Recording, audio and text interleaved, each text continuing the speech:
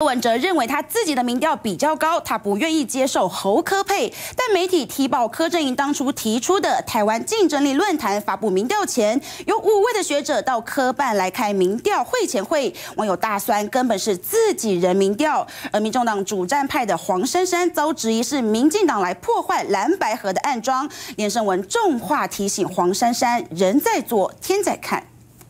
柯文哲自信满满，觉得柯侯配才能胜选，但检验九份民调他却不肯。民众党还被踢爆有利柯文哲的三份民调，不但求真跟汇流传出都是他自己人掌控。当时五号双方谈说要用民调，十七号却有下午压线发布的台湾竞争力论坛民调，巧的是下午两点发布，早上十一点却被抓包。负责民调的五名学者到科办跟柯阵营开会前会，里面的人有柯的国政顾问，还有过去柯市府的小内阁。网友调侃都是自己人民调，你也敢说自己最强？别骂。科啦，我也觉得自己是全世界最美呀！民众党把百姓当傻子吗？大个党哦，你柯文哲一个人这边每天哦这样消遣国民党，还骂国民党是六趴党，是很难忍受了。为了下架民进党，还是忍耐到最后一刻。民众真心想要蓝白合吗？从蓝白签协议那刻，发言人陈志涵当场臭脸狂哭，柯文哲的妈妈、妹妹全家跟着哭。谈合作一路走来，民众党陈志涵、黄珊珊一路狂骂。原本力挺柯侯配的医师沈振南分析九份民调后说，结论其实是侯七柯二，国将都快亡了，还在吵谁正谁。负就是侯科配了，赶快去登记啦！再不去就要骂脏话了。情感上，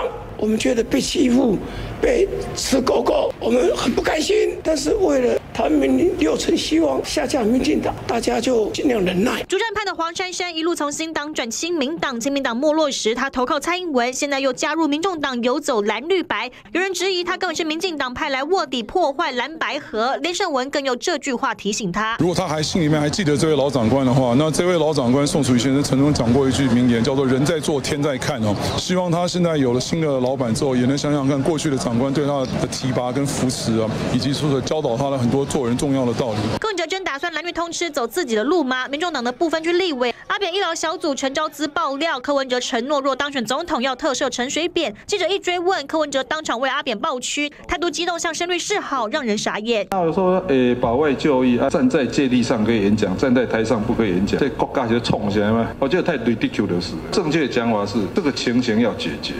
着痛骂民进党贪腐，回头却说要特赦阿扁，对蓝白河的协议，选民纳闷，柯文哲是不是将立场大翻盘，要彻底毁约？记者向、鲁李璇台北报道。